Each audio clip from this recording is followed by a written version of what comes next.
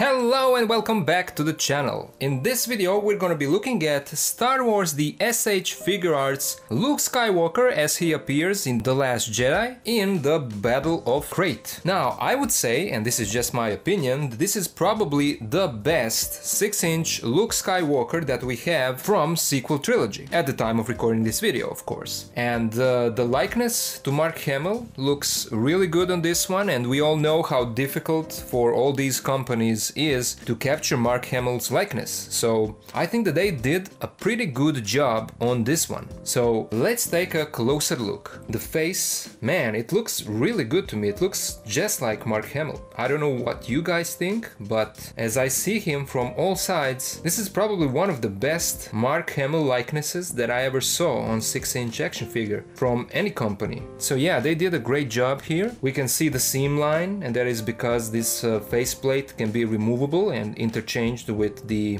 alternate face, but that's the standard, the usual for the SH Figuarts. His coat is done nicely. You can see that there is a texture on it. It really looks like fabric and here on the sleeves as well. On the rest of his robes, this is much more plain, but there are still some wrinkles that can be seen. The belt is simple, and it's sculpted nicely. You can see that here is a hook for his lightsaber hilt. The pants, we see the wrinkles, and then the boots with these straps. And these kind of remind on the first Tatooine farm boy look you can see that the straps on his legs are really similar. And then the boots, and on the back we can see the hood and then sculpted wrinkles and all these texture details. It's done really really nicely. Now i've said it before i'm a fan of uh, soft goods. And these types of plastic jackets and capes are always to me something that hinders the articulation of the figure especially on these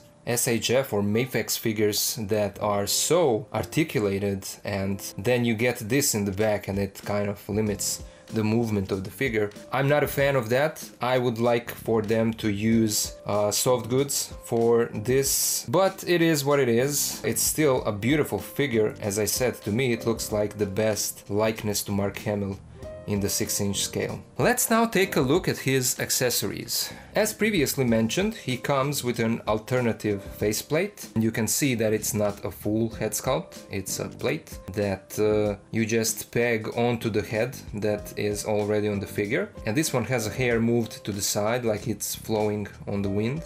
But still, the likeness to Mark Hamill is great on this one as well. A lot of sculpted details and they painted it really really nicely. He comes with those cubes from the Millennium Falcon that he gives to Leia at the end of the movie. Then he comes with unignited Anakin's lightsaber hilt and you can see that it's sculpted nicely and all of the details that should be painted are painted.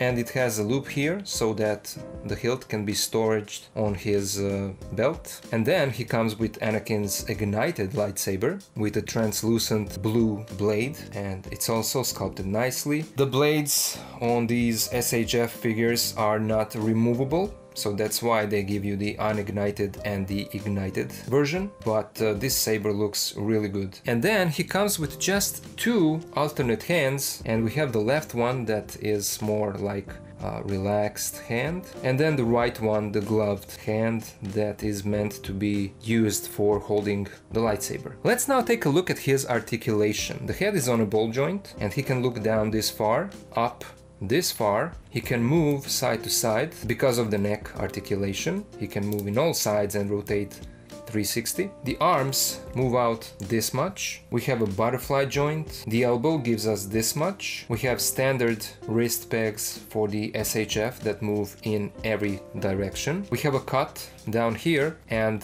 so it moves left and right. A little bit of tilt. He can crunch forward this much, back this much, his legs move out this much. There is no drop down in the hips, but we have thigh swivel. The leg moves forward this much, back this much. There is a single bend in the knee. The feet move forward this much, back this much, we have a toe joint and an ankle pivot. Let's now compare our look here with some other figures. Here he is with the SH Figuarts A New Hope Luke Skywalker and the SH Figuarts Return of the Jedi Jedi Luke Skywalker. Here he is with the SH Figuarts A New Hope Obi-Wan Kenobi and the SH Figuarts The Force Awakens Han Solo. Here he is with the SH Figuarts Episode 8 The Last Jedi Rey and Kylo Ren. Here he is with Bandai model kit Darth Vader with custom soft goods and the Black Series Imperial Stormtrooper. And finally here he is with Marvel Legends movie Logan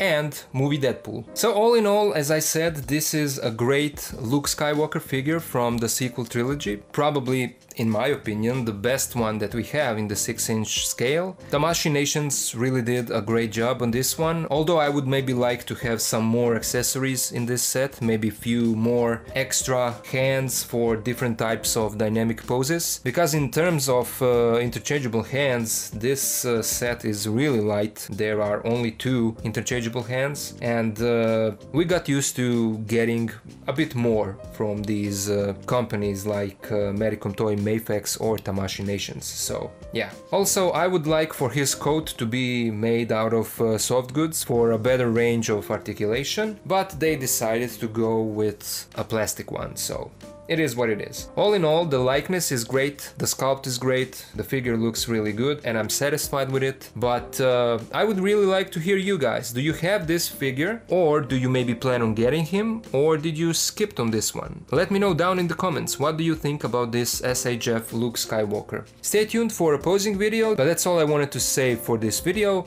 Thank you all for watching, thank you for being here with me and I'll see ya in the next one.